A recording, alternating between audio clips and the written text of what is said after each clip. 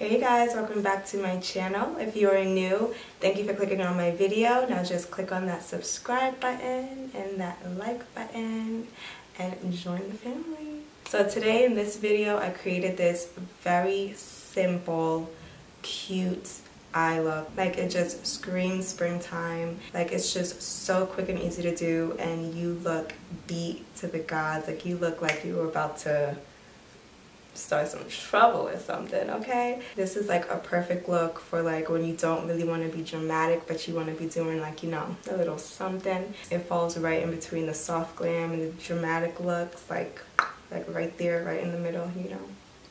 And I brought back my favorite lashes. Ah, like these lashes.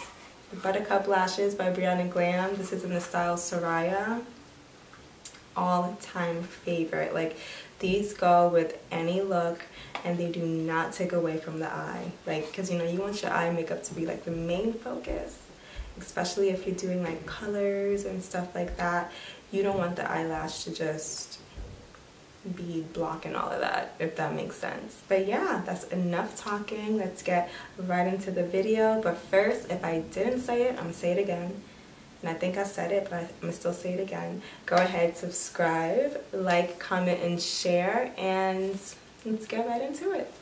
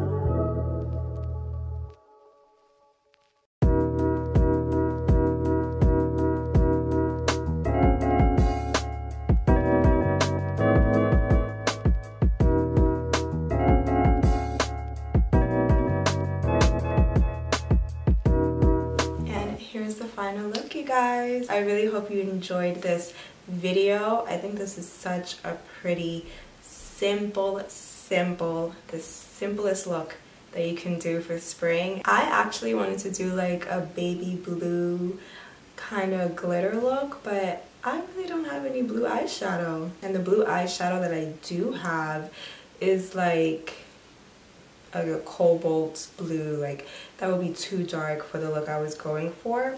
But um, I was like, what else can I do? What other colors can I use? What other springtime colors can I use? And I was like, orange. Why not orange? And um, I think it came out super cute. This is like super, super easy to do. Really, I just used two eyeshadows and then popped in some shimmer in my inner tear duct and winged it out and bam. Like, that's all it is. And these lashes, oh, I miss these lashes so much. Like I cleaned them off yesterday and everything because I'm like I'm wearing these lashes tomorrow. They're the Buttercup Lashes by Brianna Glam. They are not new to my channel. This is my favorite style, Soraya. And I had these since like probably almost a year. And I cleaned them and they just brand new. Like they're absolutely gorgeous and it's so easy to apply. They're not heavy or anything, very lightweight because the band is a bit um, on the thinner side and it's just such a gorgeous lash. Like it just like spruces up your look without taking away from the eye. So once again thank you for tuning in to another video. Stay safe stay happy stay blessed and i will see you in my next upload